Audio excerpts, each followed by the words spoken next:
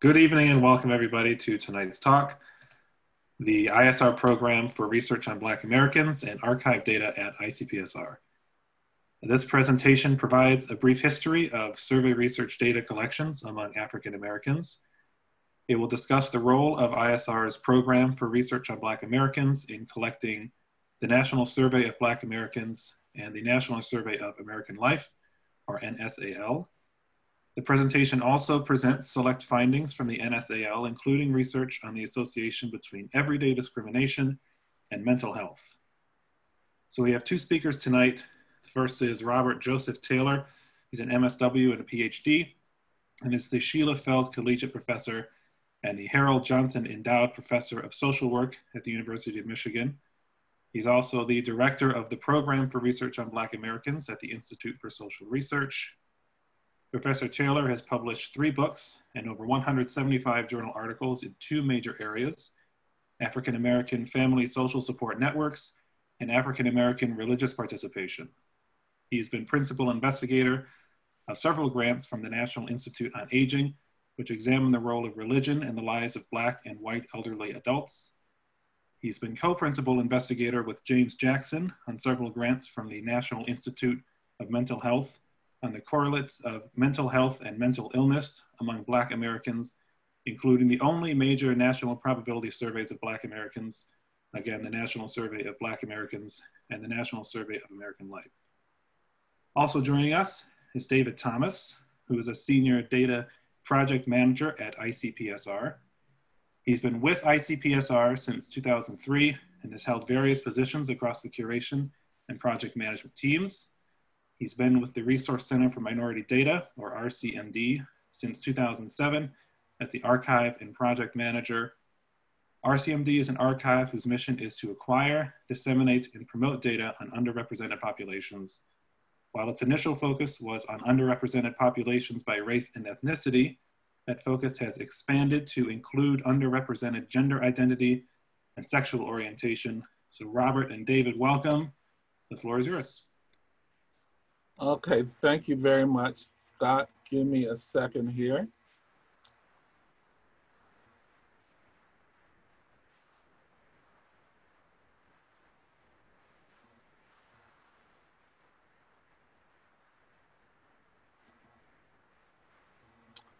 Okay, good evening, everybody. Uh, the title of my presentation, or what I'm discussing today, is survey research and African Americans. Uh, in particular, a little bit more, a little bit about the history of survey research with African Americans, with a little bit more information about the National Survey of American Life. So first, before we start, uh, this is uh, um, some contact information. This is our Twitter um, handle. Uh, this is uh, our website, and this is our my uh, personal email address in case you have any questions later. Feel free to contact me. So here is a brief outline of what I'm going to cover today. So number one, a little bit about the selected history of survey research, uh, the National Survey of Black Americans. I'm going to spend some time about the accomplishments of the students from the National Survey of Black Americans, as well as students from the Program for Research on Black Americans. Um, from there, I'm gonna talk about the National Survey of American Life and selecting findings from NSAL studies. And this includes a little bit of information on gender differences and a little bit of information on discrimination. So you can't really discuss survey research in the United States without first talking about W.E.B. Du Bois and the Philadelphia Negro. Uh, du Bois did his work in the Seventh Ward of Philadelphia. Book, the book titled Philadelphia Negro was published in 1899, again, 120 years ago. This is considered the first major empirical sociological study. Again, not study of, of Black people, but the first major empirical sociological study in the United States. Uh, he didn't use the term mixed methods, but we would probably call it a mixed method study now. Um, He and his research assistant did 5,000 in-person interviews. He and his wife lived in the seventh ward for 15 months. So part of their study was ethnographic. Part of it was archival. Uh, du Bois had a history, um, had part of his history was studying history, being a historian at his time at Harvard. And part of the book was spatial analysis. The book to read if you want to learn about Du Bois as a scholar is the book I've shown here, uh, The Scholar Denied by Aldon Morris. This is, uh, in terms of spatial analysis, this is from the book as distribution of African Americans in the seventh ward of Philadelphia. So I'm gonna skip up almost 50 years to the beginning of the Institute for Social Research. Starting in 46 uh, by uh, uh, Likert was the first director, and many of you may have heard of the Likert scale. Um, i have never, I've heard his name pronounced many different ways. I've heard Likert, I've heard Likert. Um, so I'm not sure which one is correct. Uh, but the most important part is that many people know his name from the scale, but do not know that he was the first director of ISR. Older, older people in this audience may have seen this picture. And this is Harry Truman with a headline that says Dewey defeats Truman. However, we know that there we never had a President Dewey. This headline was incorrect because all the polls at that point were incorrect and they all predicted a Dewey landslide. There was a Gallup poll during that time, which is still around, the Roper poll, and they almost faced ruin because of this. However, ISR had a study in the field. As on foreign affairs, had two questions. It was the only study to accurately predict that Truman was going to win. And it was the only study based on a national probability sample. And that's the difference. It was based on a probability sample. So I will skip up to 1957 because I want to talk about Gerald Gurin. He was the PI of the Americans View Their Mental Health. And this is, uh, from what I've gathered, the first national uh, study of mental health. Again, this is out of the Institute for Social Research. So if you go between 1948 and 1978, there are literally hundreds of national probability samples, national probability studies on the general population, and none on minority groups. So the question is, well, why, why were there no national studies? So number one is probably interest. There pre-civil rights movement, there are only a handful of African-American social scientists. Someone like Du Bois was very unusual, with very few black PhDs. Second part is the cost. Uh, very expensive. Uh, uh, cost for a sample of African Americans is expensive, not unmanageable, but still quite expensive between 1975, I'm skipping up a, a, a, little bit now, between 75 and 77, Pat Gurin, who's pictured right here, and Jerry Gurin, who's pictured here, both thought it was time for national studies on minority groups. So Pat Gurin became the co-PI of the National Chicano Survey, and Jerry Gurin became the co-PI of the National Survey of Black Americans. All of these investigators are psychologists, which is why I talk about mental health a lot, and which is why the goal of this study was a mental health study. So James Jackson, who's pictured here, is the PI. Belinda Tucker is a co-PI. Uh, Philip Bowman is the other co-PI, and of course, Gerald Gurin, who I just mentioned. These are some of the graduate students. Uh, again, not an exhaustive list, but uh, some of the graduate students who worked and some of the other staff who worked on the National Survey of Black Americans. And again, because this was done, you know, um, almost 40 years ago, roughly 40 years ago, um, we can look at uh, where these individuals are now. And what we see here is this is as a group, a fairly accomplished group. So Ronald Brown is the former chair of political science at Wayne State. Cleopatra Caldwell is the current chair of, uh, of the Health Behavior and Healthy Education Department and Public Health here at Michigan. Linda Chatters is the Paula uh, Meares Collegiate Professor. Wayne McCullough is a former president of the American Association of Public Opinion Research. Again, I'm the Harold Johnson Chair. Letha, Ch Letha Chadiha, who's retired, um, was the Rose Gibson Collegiate Chair.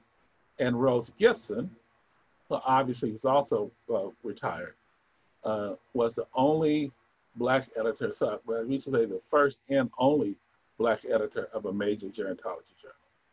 And then lastly, Harold Neighbors is the C.S. Mott Endowed Professor at Michigan State. Here goes some uh, leadership positions of, of uh, Program for Research on Black Americans alumni. It's way too many to mention, but I thought it was important to acknowledge. We have several um, several vice chancellors, several uh, provosts, associate provosts, several deans. And the black font, uh, these are people at, at, different universities across the country. The red colored font are for people who work in the, uh, in the government. So we see the Census Bureau and the CDC. Blue are people here at Michigan, and purple are at historically black colleges and universities, otherwise known as HBCUs. we're one of the few groups. I'm not, I don't want to say only group because I don't know that for a fact, but one of the few groups that uh, hosts reunions. This is a picture from our 40th reunion in 2016. And we've had one other re reunion and we're hoping to have one this year, but obviously uh, we could not do that this year. So why conduct a national sample of African Americans? Why is it important? So I'm gonna give you some reasons. So number one, most national studies during this period had an N of 1500. And with that N, you get mostly maybe 100 African Americans. Well, what it means is too few African Americans to, to conduct subgroup analysis. You couldn't do analysis only on older African Americans, only on African American women, only on single mothers. So all African Americans were always lumped together which means there was no heterogeneity. You just could not do that type of analysis. So what it means is eh, in these studies, by default, you're doing racial differences and what it means is all blacks look alike. Number two, well, the issues that pertain to African Americans that are, are, are, that are important that may not be as important to other groups. So racial identity is one, racial socialization. Um, you hear that as one top part of racial socialization that you in the media all the time is the talk about how young men in particular should act around the police. Uh, an expanded religion section. Uh, questions like fictive kin are questions that have only been on uh, African American surveys. Well, then one would argue, why not simply do an oversample of the, Af of the African American population? And the reason is actually quite simple, but many people don't know this. The geographic distribution of the total population and the African American population are different. So what it means is that if you do an oversample, the oversample of, of African Americans will be based on the distribution of the total population not the distribution of the African American population. So you look at this bar graph, I just want you to look at, pay attention to the South. And what you see right here is, this darker is the 2016 census. Uh, the, um, for the total population. This is the South, is um, I'm sorry, this middle bar is for the uh, blacks only for the 2016 census. And then the last is uh, NSAL African American. And what you see is a many more black people in the South um, in the, the black census and the NSAL. Conversely, if you look at the West, you see there's a lot more people in the total population in the West and a lot less in terms of African Americans. So again, if you want to do a, a study of African Americans and totally represent their geographical distribution, um, just doing an oversample is not a good way to do it. Just as important, we know the South and the West, where you really see the differences, are very different. Just politically, the South is way more conservative and the West is way more liberal. So, National Survey of Black Americans conducted in 79 and 80, face-to-face -face interviews. Um, sample size of 2,107. For the first time, differences uh, within group differences of the adult Black population. And again, we can't really summarize 300 studies and numerous dissertations.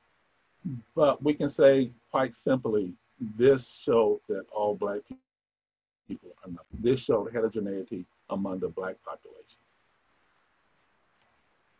Give me a so National Survey of Black Americans was proposed as a mental health study.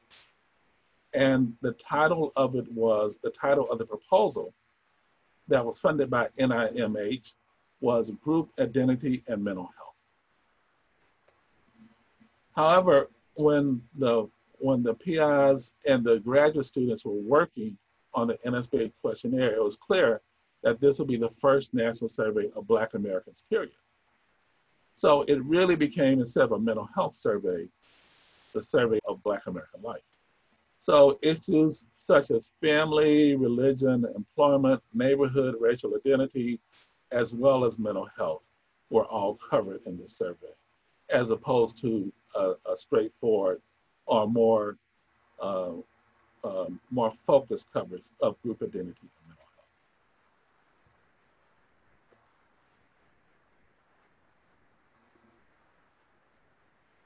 In 91, Ronald Kessler starts National Comorbidity Study. Again, I'm sort of going back, just again, we're going through the history of survey research um, as it relates to African Americans. And in this study, Kessler measures the prevalence rates of psychiatric disorders among the US population. So it's, uh, it's a bit more detailed than mental health. It's really, again, disorders. So mid 90s to late 90s, both Ronald Kessler and our, and our research team write proposals for new national sub surveys. Both are funded, but they were written separately. Um, they weren't written in collaboration with each other. Um, however, they were linked together by NIMH. And later, there was a survey of Hispanics and Asians that also became part of this. Together, these three surveys make up the collaborative psychiatric epi studies. So again, Kessler's comorbidity, National Survey of American Life, and the National Survey of Hispanics and Asians. These are the principal investigators of the National Survey of American Life. So again, James Jackson is the PI. Then the co-PIs of Cleopatra Caldwell, Harold Neighbors, Randolph Nesse, myself, and David Williams. Um, these are the final ends for the NSAL. So 6,000 adult interviews, which includes African Americans, Black Caribbeans, and non-Hispanic whites, as well as almost 1,200 African American and Black Caribbean adolescent interviews. This is the distribution of, of, uh, of Black Caribbeans in the United States. Again, heavily Northeast, a little bit in Florida. You see Atlanta and Houston and Chicago, and a little bit in terms of New Orleans, in terms of Haitians in particular. So again, talking about diversity, we know there's a lot of diversity among African Americans. There's a tremendous amount of diversity with Black Caribbean in terms of uh, diet, in terms of customs, and even in terms of language. These are the countries that are most represented, and these are the, the larger countries in terms of immigration. There are over 25 countries of origin, uh, Jamaica being the largest, and then we have Haiti, Trinidad and Tobago, Guyana, Barbados, and again, Puerto Rico. And we do know that Puerto Rico is not a country. This is the sampling uh, design, uh, sample areas of the NSAL. Again, this is what you would expect. Heavily in the South, heavy in the Northeast because of the Black Caribbean, and again, lighter in the West again, this is what you would absolutely expect from this type of sample. These are some of the areas that are covered. I'm gonna go through this part a little quickly. It's like three or four slides of this. So neighborhood, religion, cognitive function, functioning, um, uh, a large mental health section, use of health resources, again, sort of a mental health section, discrimination, immigration, politics,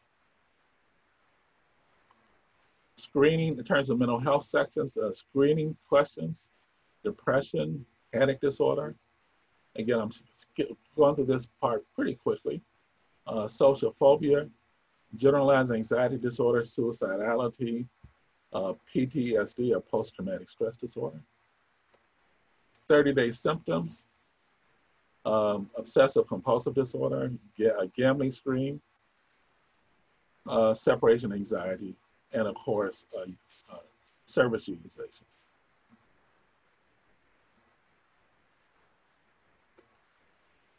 So I'm gonna take a little step back and do something that's sort of unusual for ICPSR. It's really important to remember that our respondents are people really easy to forget this when we're taking uh, st statistics classes, when we're doing data analysis, when we're worried about what's the latest and what's the strongest technique and are we doing our analysis correctly. Um, we get, especially if you're doing secondary data analysis and you've really never been in the field, it's very easy to get away from the fact that these are real, that respondents are real people um, who have real issues um, and then not just a number. So I want to give you a little bit of interviewer experience. So I will read these to you. I had to interview one elderly lady. When I asked a question about her teeth and gums, she said, well, my gums are excellent, but I don't have any teeth. We had a great rapport at that time and we both rolled and laughed. Every time that I go into the field, I learn a little something. The most moving thing is just how many people there are who are very lonely and who really need someone to talk to. People for whom my visit makes a world of difference. Here's another one. There was the illiterate woman for whom I had to read the respondent booklet, who had a, had, has a public assistance income of $500 per month. Her roommate told me that the respondent had gotten up early to prepare for the interview and spent two hours dressing and cleaning the room we used. There was the man who suffered severe depression after the death of his wife. He rushes out to talk to me and tell me how he's doing every time I am in his neighborhood. There was the man who was waiting with pictures of his cats to show me. The man who told me about the statue in his front yard he put out in memory of his neighbor.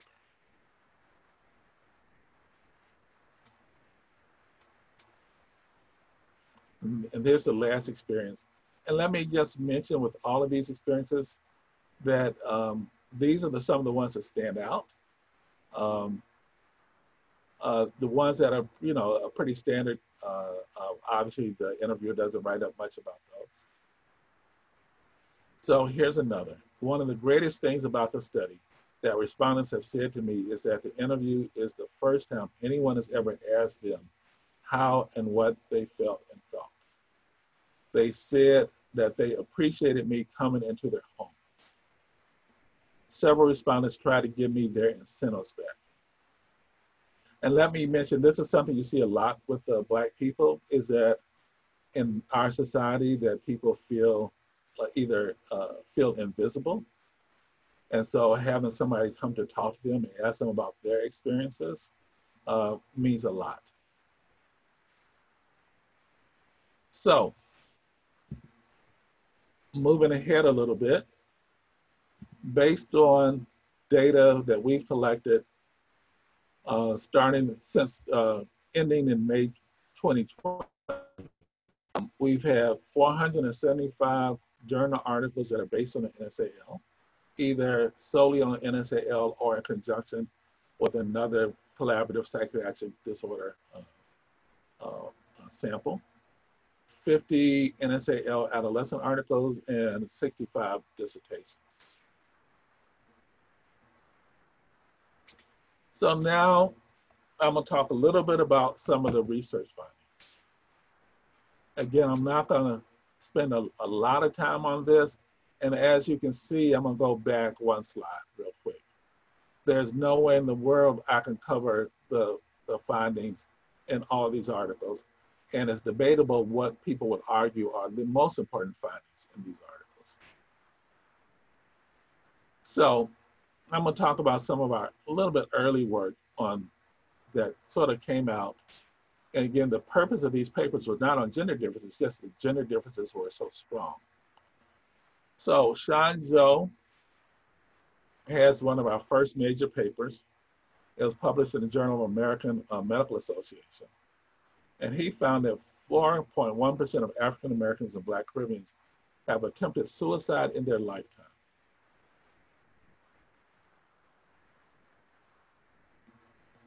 And what we see here is there's some really big gender differences, uh, in particular with Black Caribbean men. You see this 7.5% of Black Caribbean men have attempted suicide their, over their lifetime compared to only 2.7 Black Caribbean women. The issue is that difference is so big that it's relatively unusual.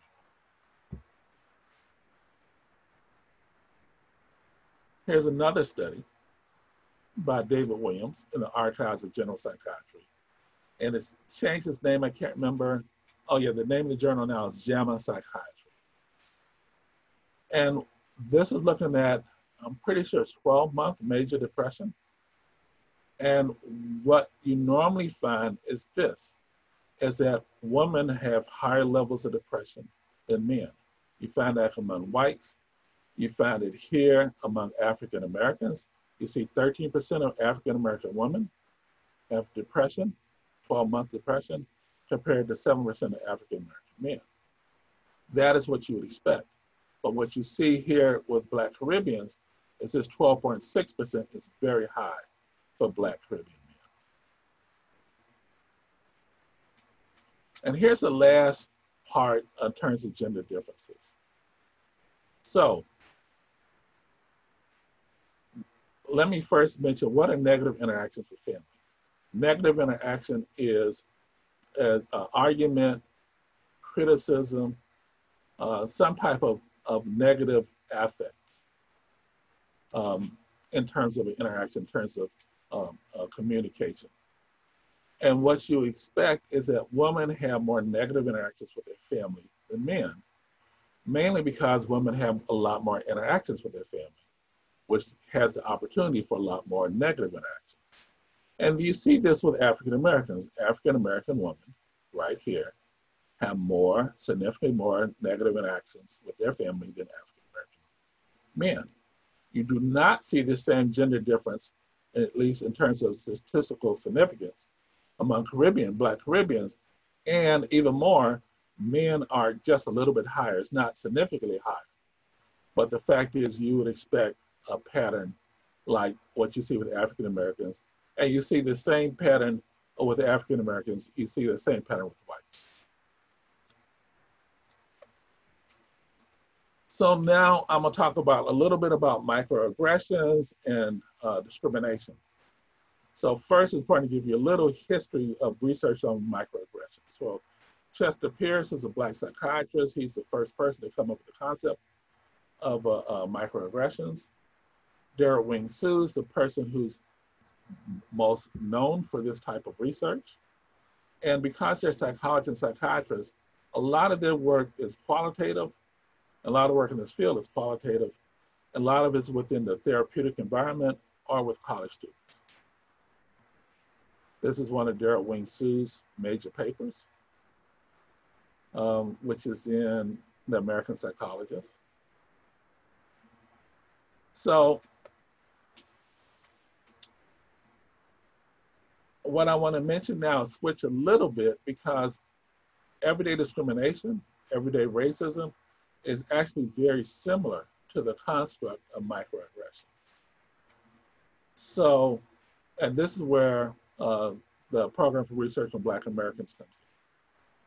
So Philomena Essed wrote this book, a great book, on discrimination and racism among Black women in the United States, and I believe Black women, and I know in Europe, and I believe it's in the Netherlands, but I'm not, I can't, I'm not positive about that. And David Williams took the information from this qualitative study and came up with a scale. That scale was first used in um, one of our 95 studies, a Detroit area study. And this is one of the, I believe, is the first publication from that scale.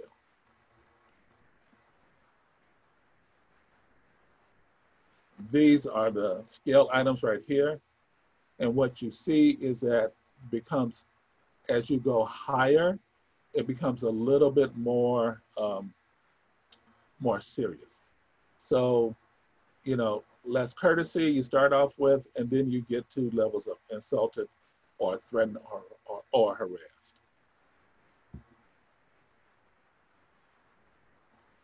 And what you notice, if you look at these right here, these map on really consistently with microaggressions. So there are numerous previous studies using the scale so research on African Americans, on Asians, Latinos, and they, for the most part, found this, that um, discrimination is positively associated with poor physical and mental health.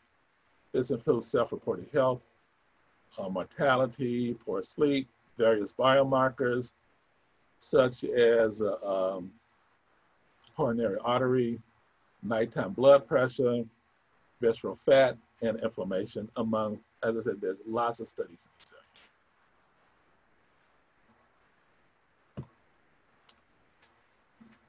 I have maybe two or three study, two or three more studies to cover, and then we'll, be finished with our presentation tonight.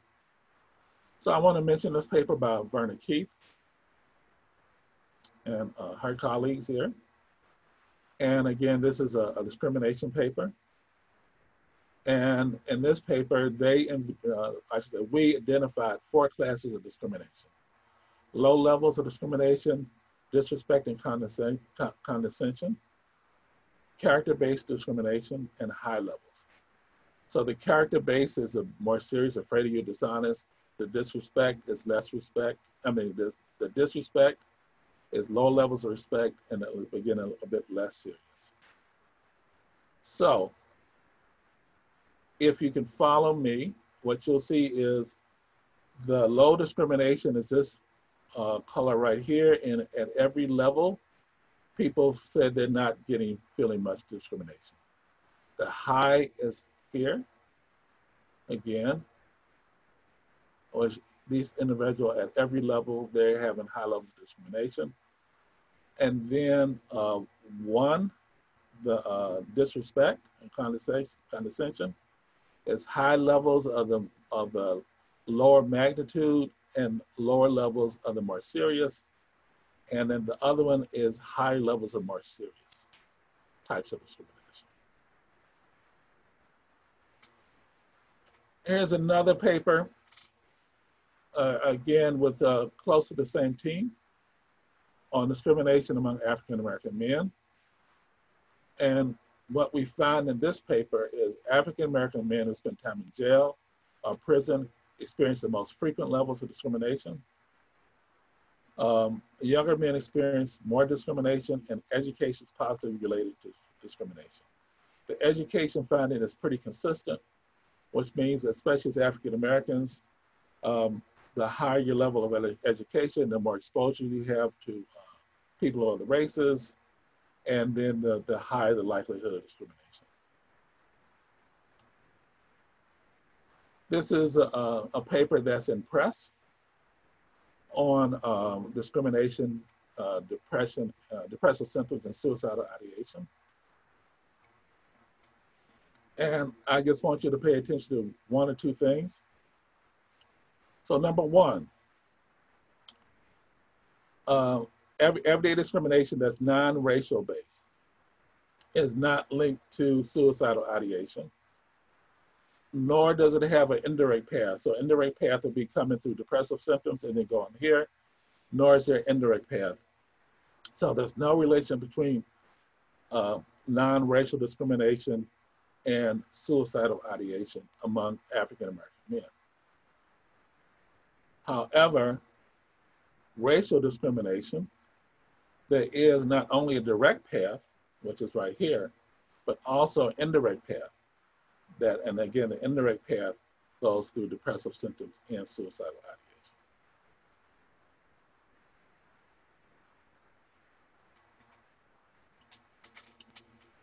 And this is the last study I'm going to cover. This is discrimination, psychiatric disorders among older African Americans. Is looking at both psychiatric disorders as well as, um, as uh, mental health symptoms. And what you see is this. So first, here are the dependent variables. Mood disorder, anxiety, any, uh, any anxiety disorder, any disorder period, number of DSM-4 disorders, depressive symptoms, and serious psychological distress, and that's the, using the K6, which is the Kessler 6. And every model is significant except for these two.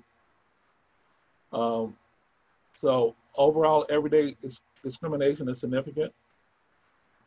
Uh, and then these are all separate models. Everyday discrimination is, is significant except for anxiety disorders where board is significant, which is right here and everyday non-racial discrimination is also significant every model except this one model with mood disorders. So in conclusion, I have two, two concluding points. Number one, there have been the Program for Research America, Black Americans has had numerous graduate students, postdoctoral fellows, and we're still training a nice group of young uh, students and postdocs. Uh, many of our, uh, as, as we've shown, many have done really well. Uh, the, our program has done the conduct the two most notable national studies of African Americans. It's conducted the first and only national study of Black Caribbeans. And outcomes of the NSAL is that it provides important uh, data on African American, Black Caribbean, and non-Hispanic white populations the data goes well beyond demographic and economic descriptions. Large enough sample sizes to investigate within group differences. So you saw some of the papers on older African Americans, on Black Caribbeans, on on um, on African American men as examples. And the NSAL is a larger and more complex follow-up to the 1980 NSBA. Again, thank you for your time this evening.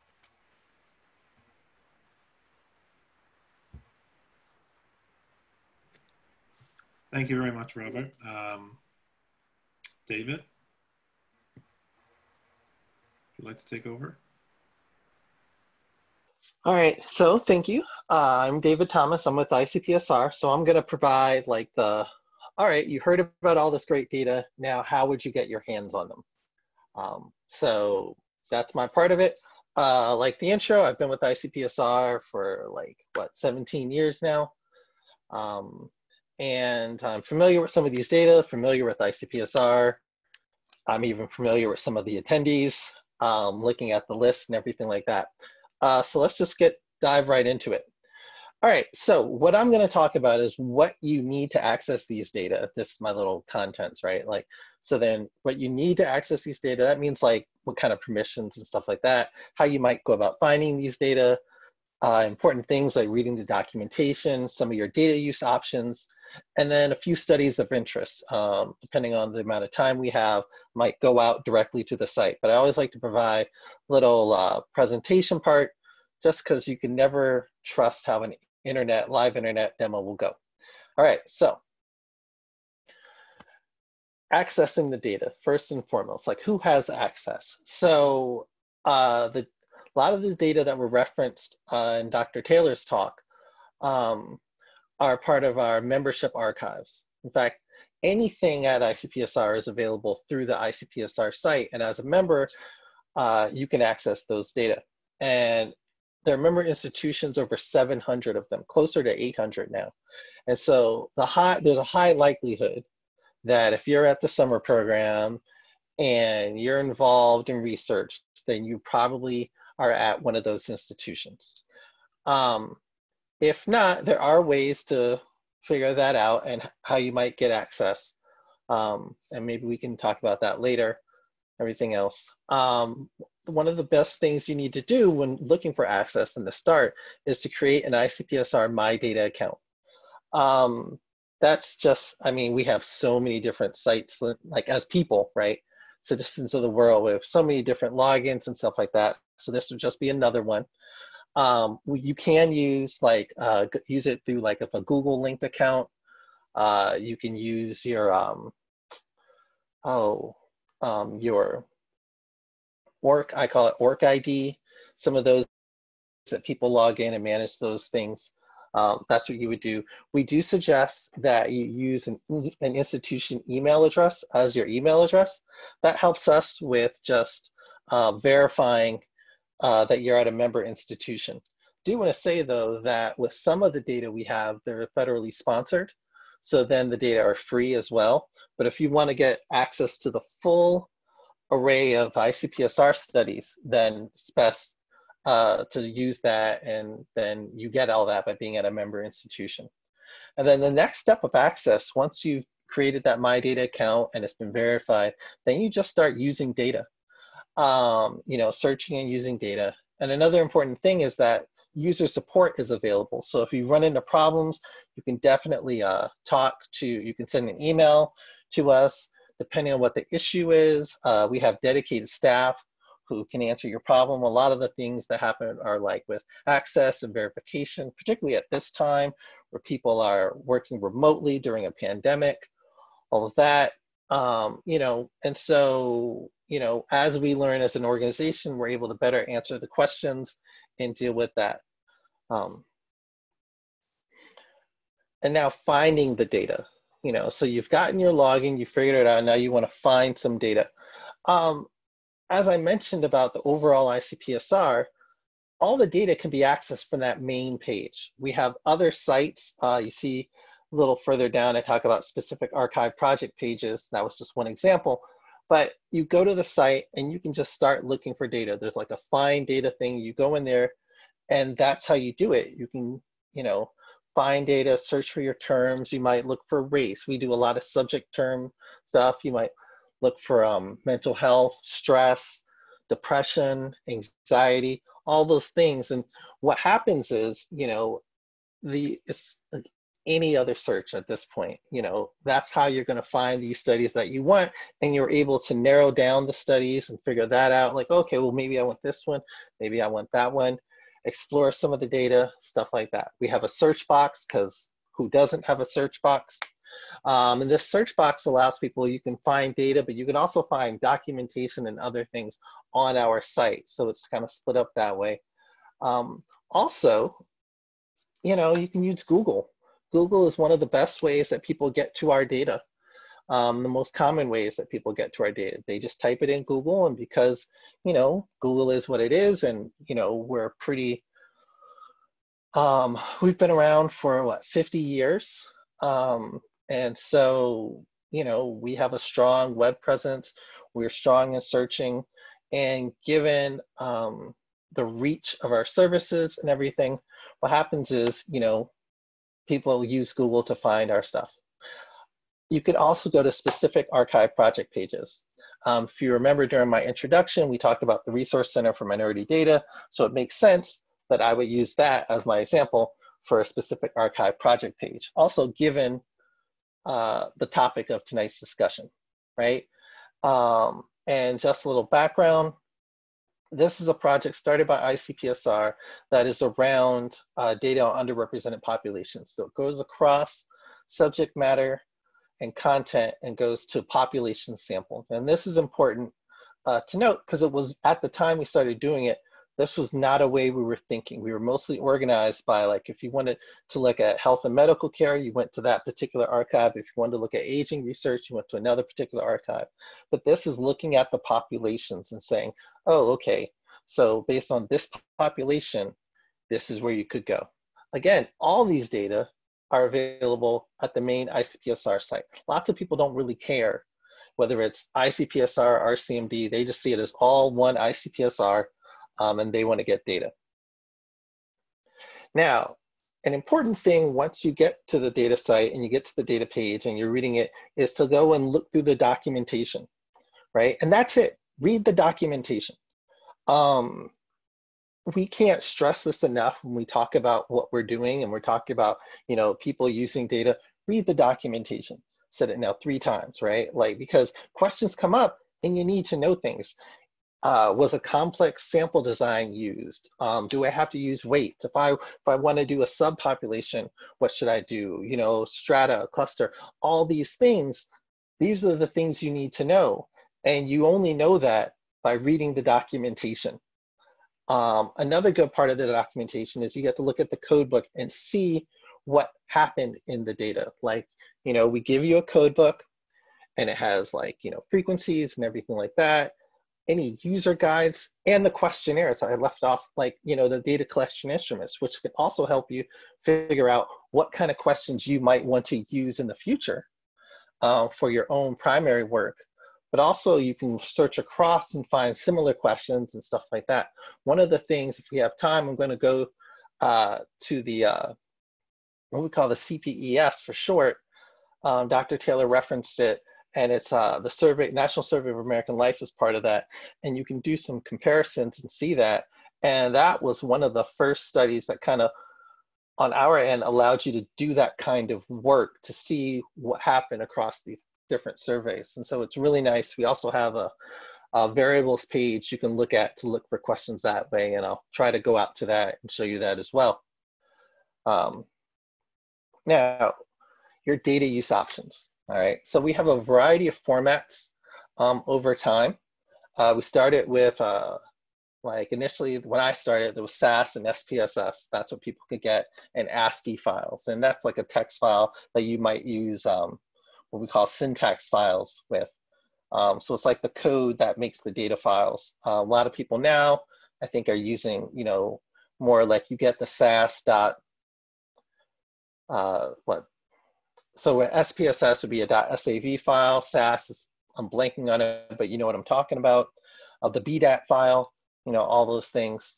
Uh, now, now there's Stata around, and there's R, and all those other things. Um, for for example, for the National Survey of Black Americans, um, because it's um, a little bit older study, what your options are like Stata, I think SAS, SPSS, and some of those studies of that time period will have online analysis capabilities. So even if you don't have a statistical package on your machine, you can still use, you can still do some analysis, and stuff like that.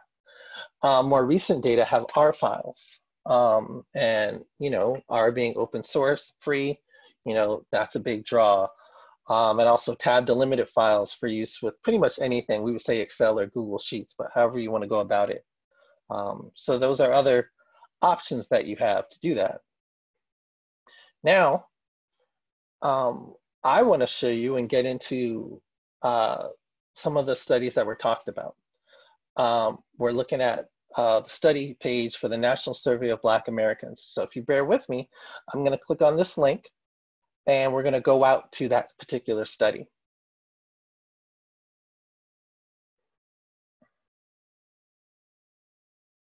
Can I verify with Scott that you're seeing the study page?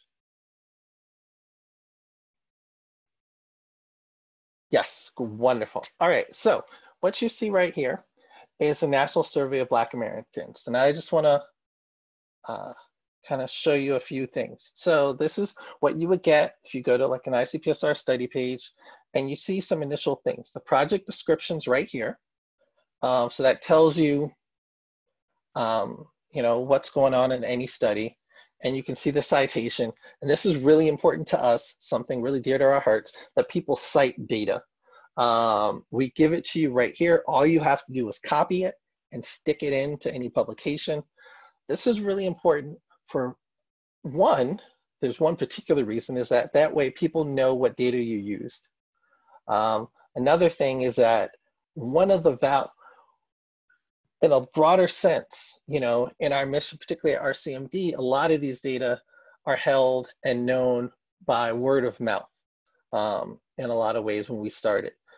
But by having these data citations, you know, people can have access to these data and know where to get these data and they can know that you know if this person got it from icpsr and this person got it from icpsr that you know they're going to have roughly the same data they should um you know now whatever changes they might have made on their own that's a different thing but they they're starting from the same point.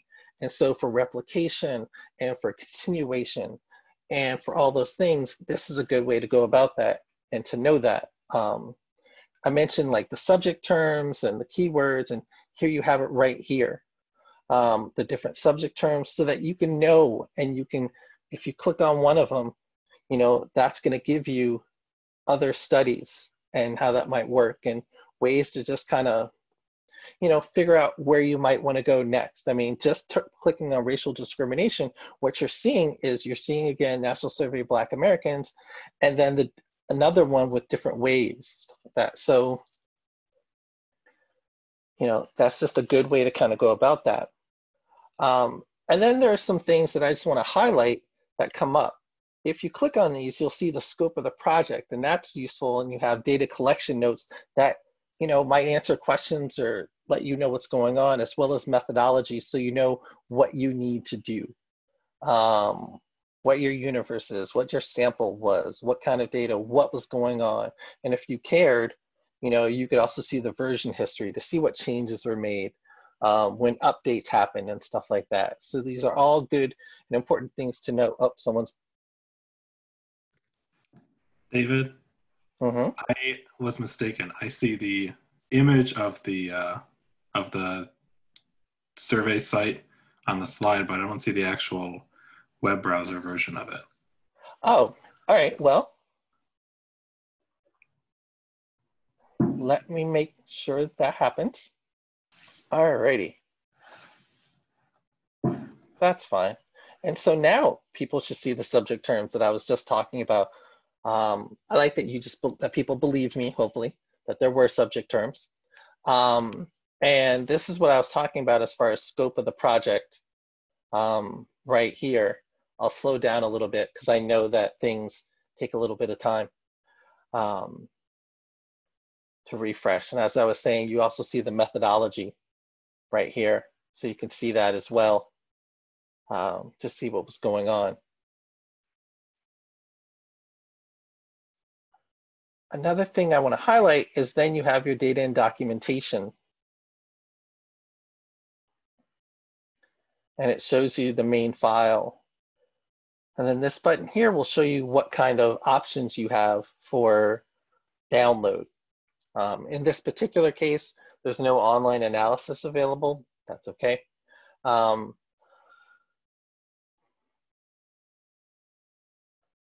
another piece is this variable search tool. Uh, many people find this one useful um, because you can uh, narrow down what you're looking for. So I might type in discrimination and then see what variables pop up. And then I can see if I click on any particular variable, I can see the question up here. And I can see uh, the, the value labels and the answers, the responses. And then I can also see on the side here, different types of questions. Um, so that's really useful for figuring out many things, like a lot of people cluster questions together, um, you know, in a particular study. And so all those things, you can figure those out, look at those, um, and then go from there so you can figure out also like whether or not a particular study in, in a broader sense is what you want before you go through the, it's not really that much trouble anymore, but before you download data and start reading further. Um,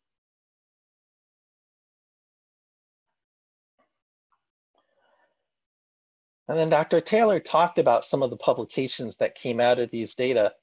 Um, and so we're not gonna have all of those. However, what we do have are a lot of publications. Um, and you can see just up top here, I use my hands a lot, but you can't see that. Um, so I have to use the mouse. Um, you know, like the first citation, you'll see that, you know, this one citation used, what was that, five different uh, studies from ICPSR. Um, you know, and then so you can figure those things out and kind of see what's going on and you know stuff like that. And we see a lot of the same names as dr taylor mentioned um, including his own. Uh, so and so uh, this was i went in and i identified some of the different studies we have associated with the national survey of american life. And what you'll see um, you'll see three studies here. You'll see the adolescent supplement, the self-administered questionnaire, and then you'll see this broader study here. Um, and within this broader study, you have uh, the National Survey of American Life, the National Latino and Asian American Survey, the National Comorbidity Survey. Um, so it's a grouping of studies.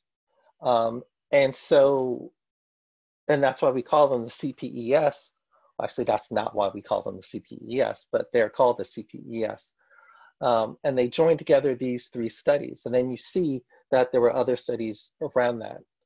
Um, because of the whole, you know, going back and forth, I'm not going to do that. So I have a screenshot of the page to show you some of what that's like. Um, you know, and we're seeing again those same names uh, that were mentioned before, that were mentioned in Dr. Taylor's uh, lecture and talk.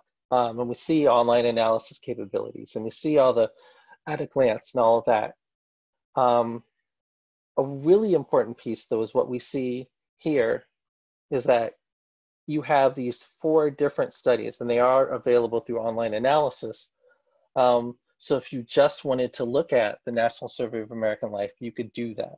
If you just wanted to look at the comorbidity survey, you could do that. If you just wanted to look at Latino Asian American survey, you could do that. But if you wanted to look at the whole thing, you could do that as well and make comparisons. And like I said, see, you know, what questions were asked and how they might have been asked across the different studies and surveys in this in this one uh, study. So you can get this one study and get all of this data. Um, and so that makes it super useful. Um, there's also a crosswalk that you can access there um, to see, you know, like how things might change and what, like I said, what questions and how they were asked across them and make comparisons of the answers as well. Um, and in this, I included like a live out link. I didn't do it because we're not doing that again. Um, I talk kind of fast and I was supposed to go over the data side of it. Um, so I'm going to stop sharing so people have time to like, you know, ask questions. Thanks, David. Um, before we get into the questions, I'll just mention really quickly, if you joined us late, um, this lecture, like all of our other lectures, will be up on YouTube. And if you're on YouTube right now, maybe give us a subscribe and a like while you're there. Uh, so first we have um, more a comment here, someone who says they personally have not published with the data, but they have friends who have, and they have not had issues with the age of the data. Um, I don't know if Robert, you wanted to comment on publishing with older data. Uh, for the most part, we don't have um, any problems. We clearly have to note it as a limitation. Uh, there are a few instances here and there that a paper has been rejected solely on that basis. Um, and a lot of it depends on the reviewers. Reviewers who understand African American survey research understand that this is still the, the best game in town. Reviewers who are unfamiliar with research on African Americans um, are unf unfamiliar with the um, large scale survey data um, they're more likely to really push the age of the data set. Okay, thank you. Uh, this next question is for David. Does ICPSR have any qualitative data?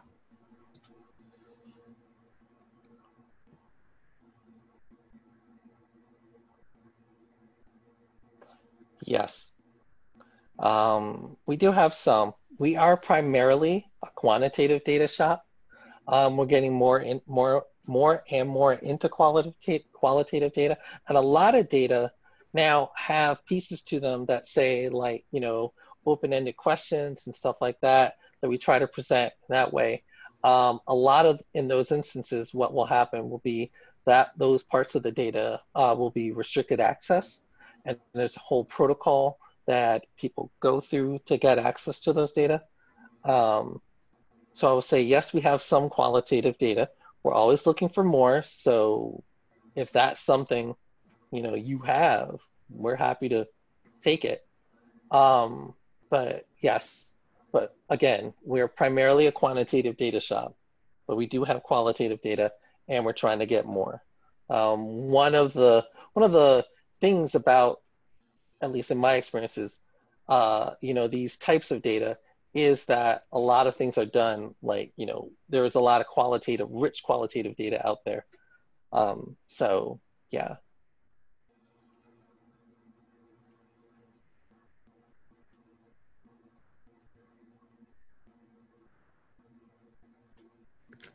Uh, we have a question now for dr taylor. I noticed when you were presenting the results of the study on suicide that larger numbers of Caribbean men commit suicide and smaller numbers of American women do. But when you presented the slide on depressive symptoms, there was a higher number of Black women who had depressive symptoms. Has anyone found out why? Yeah, let me uh, let me indicate. And so first of all, I have done research in those areas, but I don't consider myself uh, the expert in those areas. Um, but what you see, and this is pretty standard, is that women tend to have higher levels of depressive symptoms and higher levels of depression than men. Again, for African Americans and whites in our society. Uh, however, when it comes to suicide, um, suicide is a little unusual. Sometimes you get a little higher rates from men, uh, but we definitely know is um, in terms of completed suicides, you definitely have higher rates for men. In terms of attempts, it's a little different. And I, again, some of the information I have is a little dated, so I want to be careful about this response. Um, so I should say I don't know as much about attempts. What I can definitely say in terms of completed suicides, and to some degree attempted suicides, is that men use more in our society use more lethal means much more likely to use guns uh, women are much more likely to use um, to, to, to not use i should say to not use guns to um, to attempt in other ways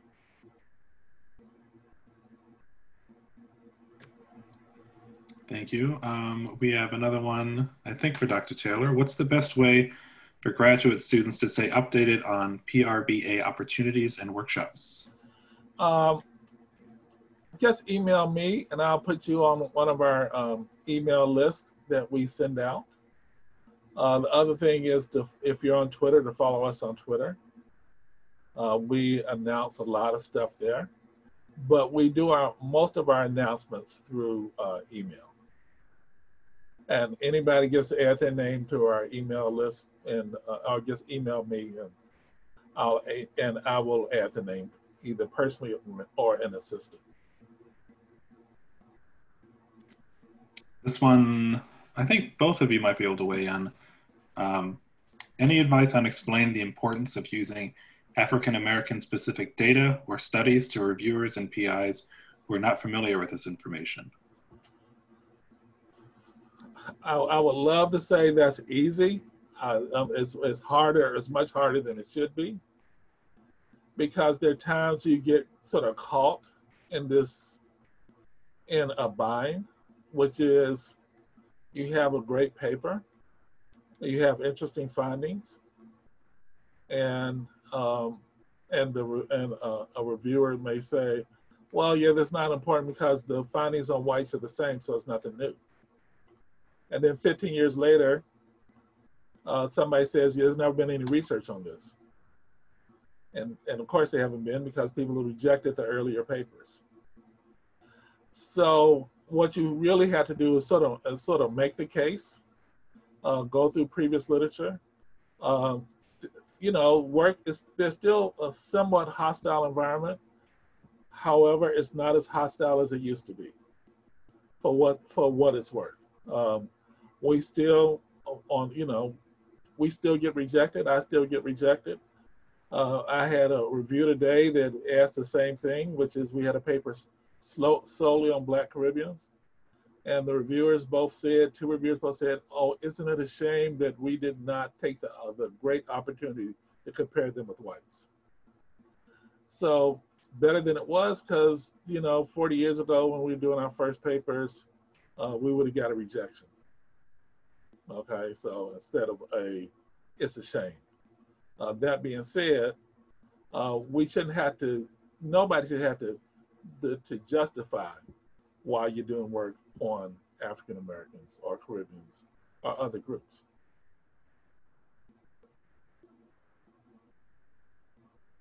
Uh, David? Now I feel that's kind of like a drop the mic kind of moment. So, you know, like I'm good. Okay.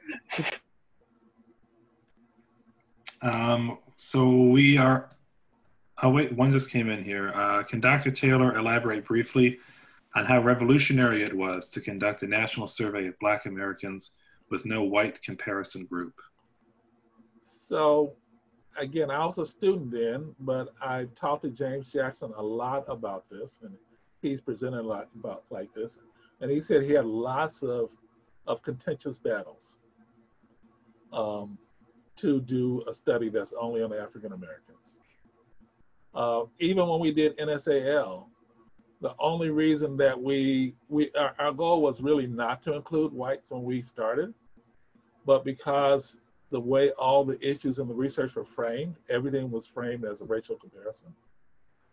But to go back to the first survey, uh, James Jackson will tell you that he had lots of, of uh, battles um, both around the country and internally at ISR of why would you do this study? Why is it important?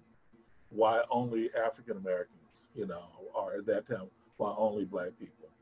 So it was revolutionary. One of our first papers uh, was rejected in a, you know, like one or two lines, which is no white comparison group, uh, very early on. So we definitely had those battles.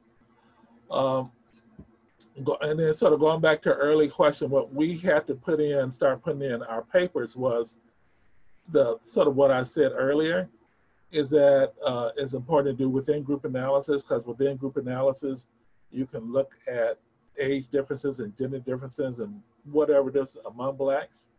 But a racial comparison only gives you that blacks and whites are either the same or they're different. you really learn nothing about Black people within, or you, I should say nothing, I should say it's very limited. Now, there is a role for racial comparison work. I'm not saying there isn't a role, but I'm saying it shouldn't be exclusive.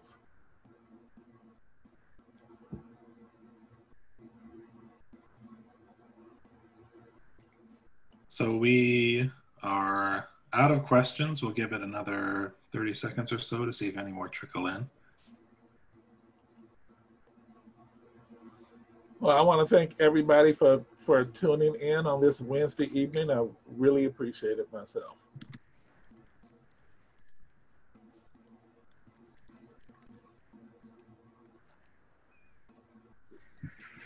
All right, um, this is Stephanie uh, Carpenter, the program manager for the ICPSR summer program. Thank you, Dr. Taylor. Thank you, David, for your presentation tonight. We're deeply honored to have you both present on this. Um, and uh, the audience is also um, expressing their gratitude. Um, the uh, Blalock Lecture Series is going to continue for the next four weeks. I'd like to um, alert everyone to our talk for tomorrow night. Um, it's going to be presented by uh, Dan Merkle of ABC News.